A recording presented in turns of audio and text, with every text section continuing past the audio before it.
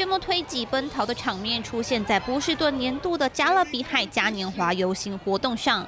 当时游行会场周边传出枪声。Officers responded to multiple gunshots in the area around 10 Talbot Avenue, uh, where there were seven uh, people who received gunshots. 事发后，现场一片狼藉，所幸七名被害人伤势没有危及生命，同时两名开枪嫌犯立刻遭到逮捕。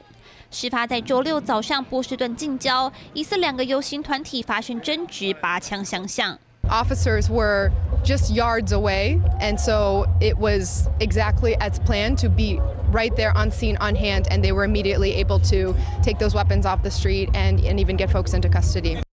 尽管发生枪击案，但主办单位表示，从一九七三年就开办的嘉年华不受影响，将依照计划进行两天的庆典。